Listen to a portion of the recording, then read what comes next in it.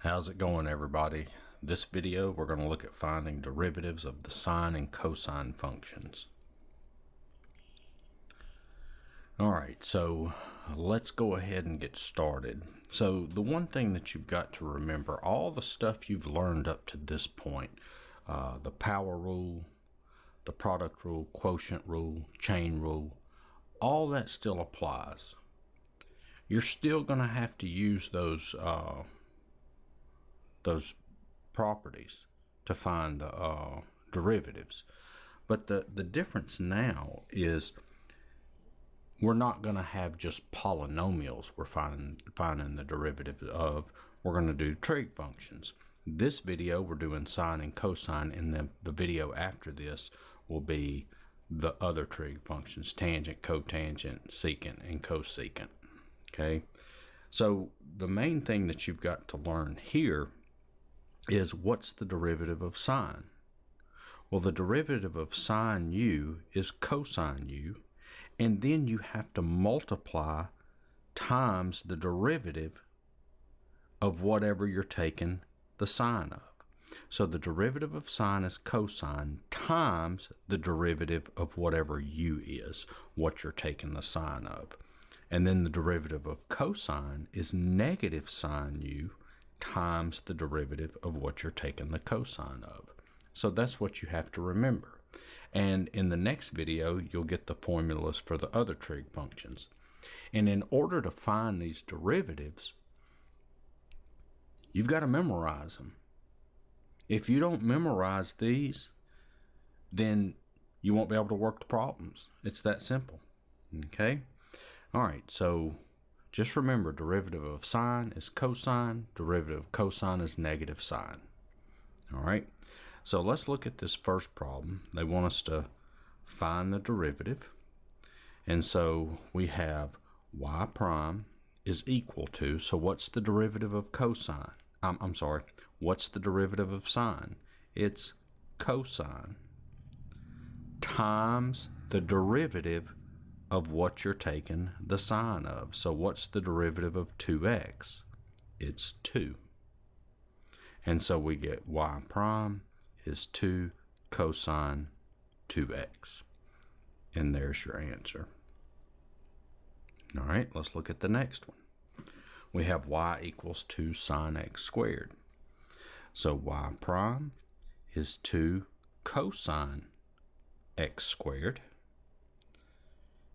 times the derivative of what you're taking the sine of. So times the derivative of x squared. The derivative of x squared is 2x. And so we get y prime is 4x cosine x squared. And there's your derivative. All right, next example. See, this stuff's pretty easy. All right, so let's let's look at this. Now in this video and the next video, I'm going to do this one step where I rewrite this. And after after that, I'm not going to rewrite it anymore in later on videos. Okay? So here we have y is equal to. Now what I want you to understand here, what I want you to see here is sine squared x that's the same thing as sine x and then all of that squared. Okay? But instead of writing sine x in parentheses and the squared out here, we just write it like this. We put the exponent right here. But this means the same thing as this. Now, what's the reason that I'm rewriting it like this? Well, the reason I'm rewriting it like this is so you can see that we have sine x in parentheses raised to a power. So what this tells us is we need to use the chain rule. Okay? So remember the chain rule, the exponent comes down, so that's 2 sine x, subtract 1 from the exponent, so that gives us a power of 1. And so sine x in parentheses raised to the first power is just sine x. Okay. So remember the chain rule. The exponent comes down, we subtract 1 from the exponent, and then what does the chain rule say? Times the derivative of what's inside the parentheses. And so what's the derivative of sine x? Well, that's whoop,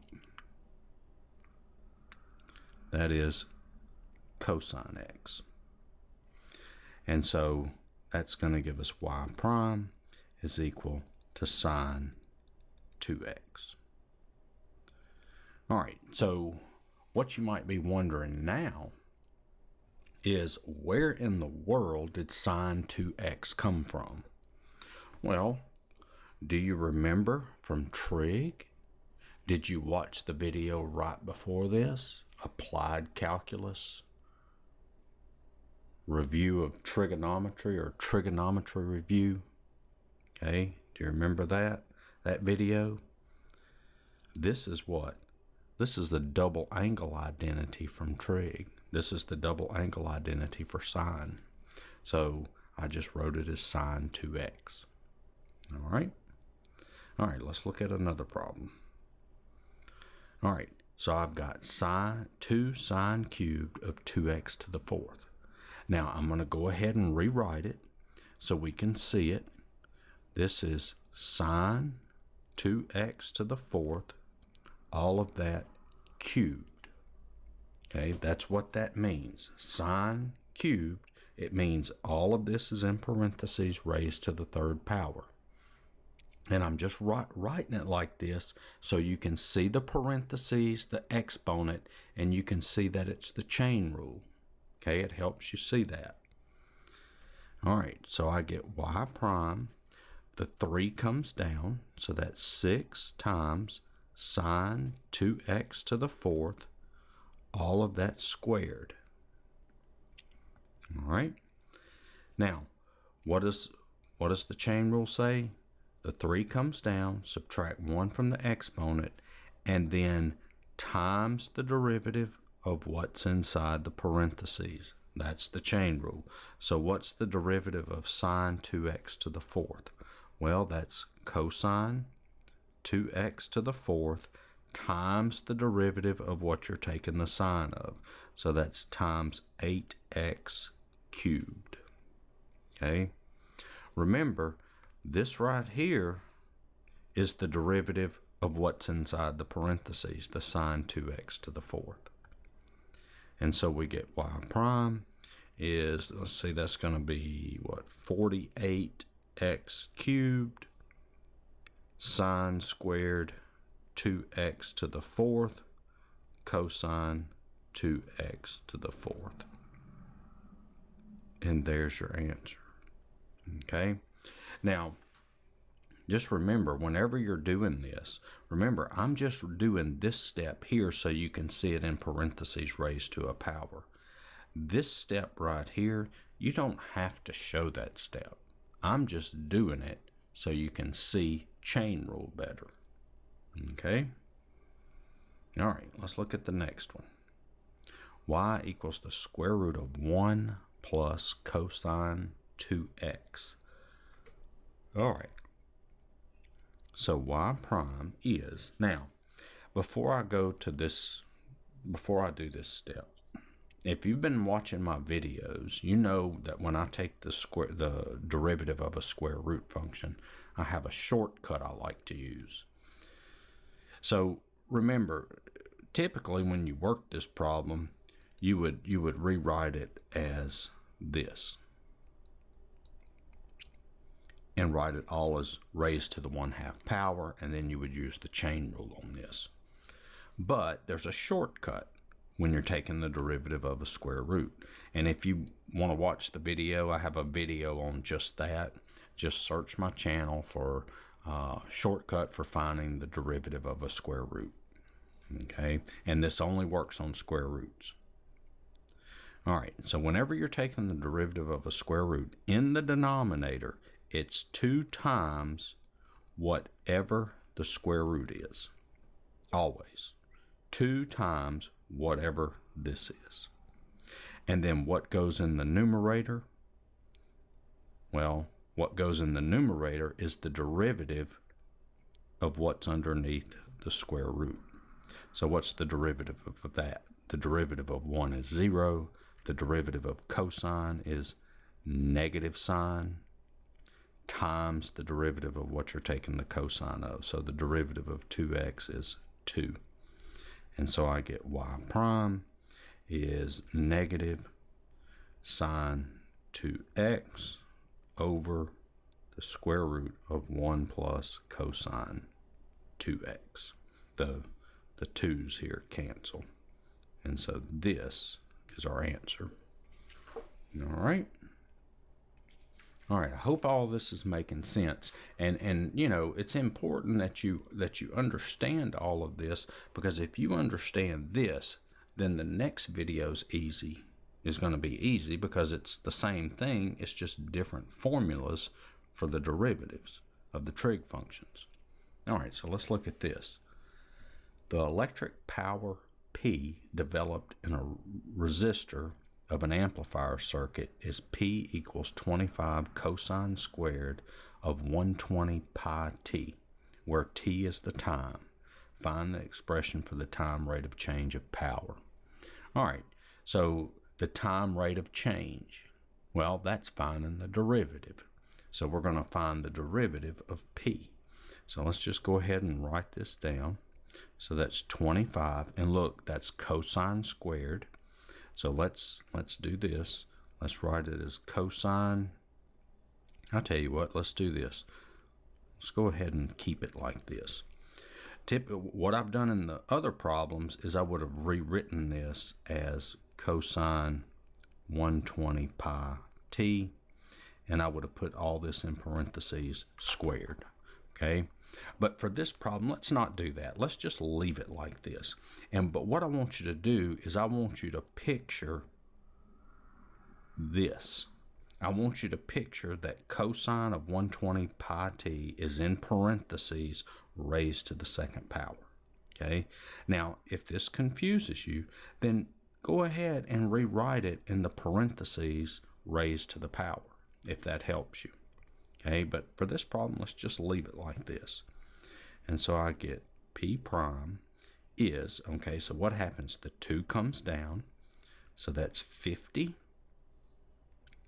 Subtract 1 from the exponent, so 2 minus 1, that would be an exponent of 1, but we don't write the 1, we just, it's understood. And that's 120 pi t.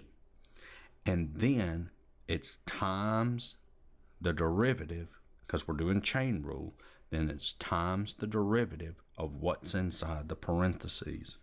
So what's inside the parentheses? Cosine of 120 pi t. Remember, you're picturing this as this over here. So it's this is what's in parentheses. So we got to take the derivative of cosine 120 pi t. And so that's going to be the derivative of cosine is negative sine 120 pi t times the derivative of what you're taking the cosine of. So what's the derivative of 120 pi t? Well, that's just 120 pi. And so I get p prime is equal to, let's see, what, what is that going to be? Have to get my calculator out. So 50 times 120. So that's going to be negative 6,000 pi times sine 120 pi t times cosine 120 pi t.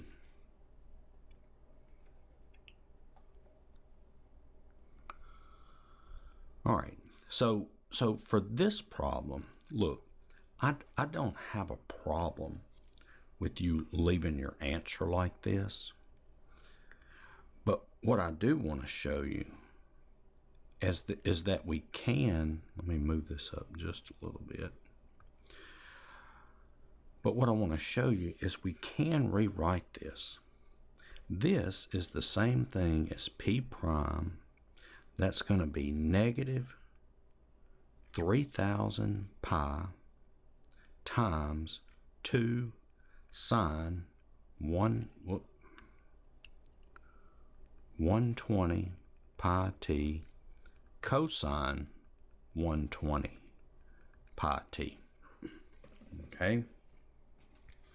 Now, remember that we have sine 2x is equal to 2 sine x cosine x. And see how we have that right here? And so so what we have here is see the 120 pi t, that's like your x right here. And so what do we have to do?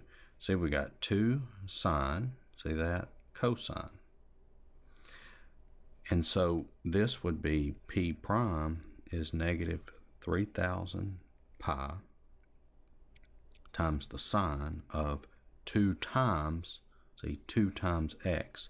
So 2 times 120 pi t, which would be negative 3000 pi sine of 240 pi t.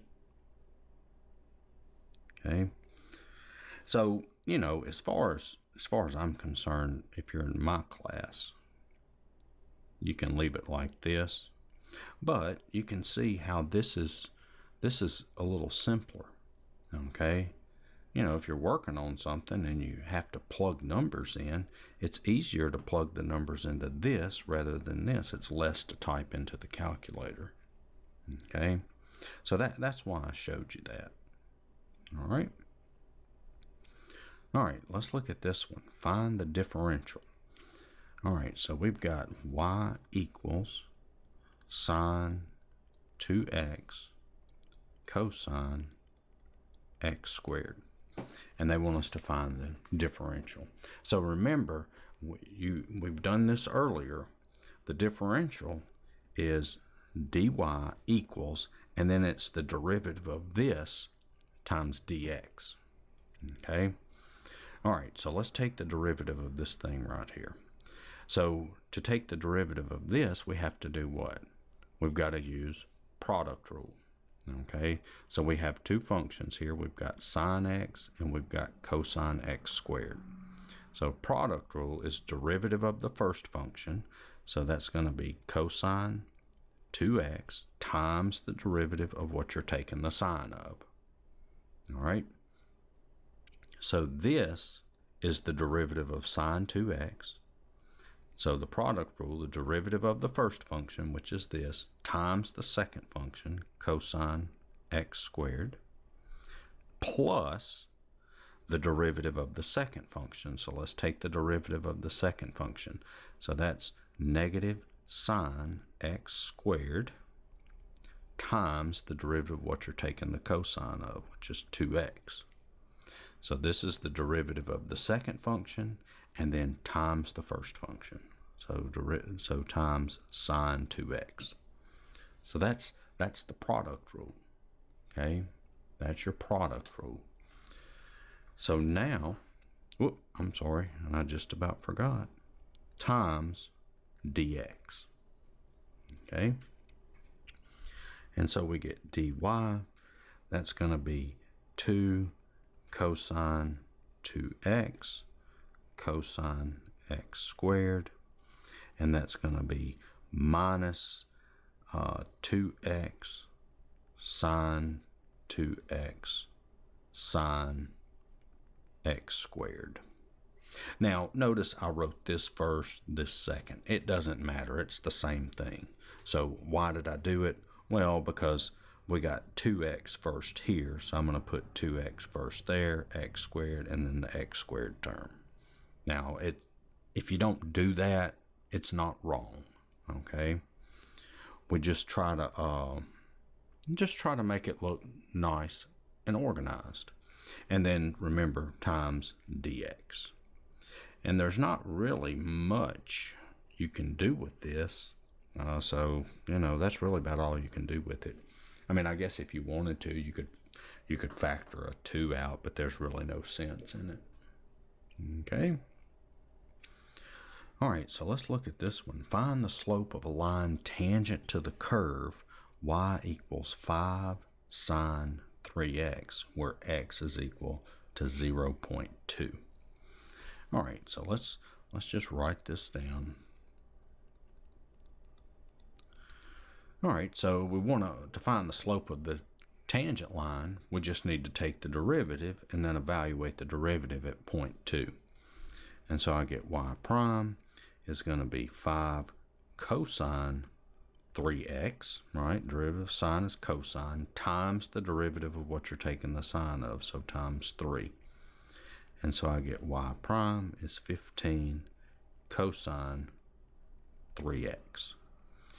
And so now to find the slope, that's the derivative evaluated at point 2. So that's going to be 15 cosine 3 times 0.2. And so let's see. Let's see what that gives us. That's going to be 15 times cosine of 3 times 0.2. And that gives us 12 point, and I'm going to round it to one decimal, 12.4. All right. Now, I don't know if you're going along with the uh, video, if you're going along, you know, working as I'm working, taking notes or whatever, and punching stuff in calculators, and you might be thinking, well, I didn't get 12.4. Your calculator has to be in radians. Okay. Make sure your calculator is in radian mode. And then punch it in. If you if you typed it in and your calculator was in degrees, then you're not going to get the right answer. But, you know, that, that's all of this video. And I would encourage you to watch the next video, which is going to be the derivative of the other trig functions.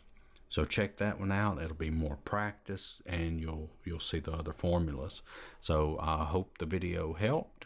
Check out my other videos. Give me a like, share, and subscribe.